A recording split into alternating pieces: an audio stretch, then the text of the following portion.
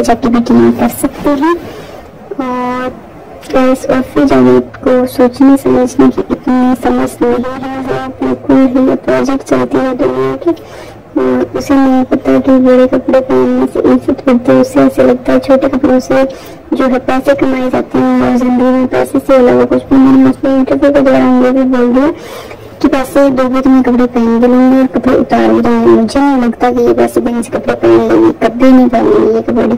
और उर्फी जावेद ने अपने एक इंटरव्यू के दौरान ये भी बोला है कि मैं जावेद से नहीं हटाना चाहती हूँ क्योंकि उसकी फैमिली को दिक्कत है कि वो हमारा नाम मिट्टी में मिला रही है। इसलिए उर्फी जावेद के घर वाले उससे नाखुश हैं।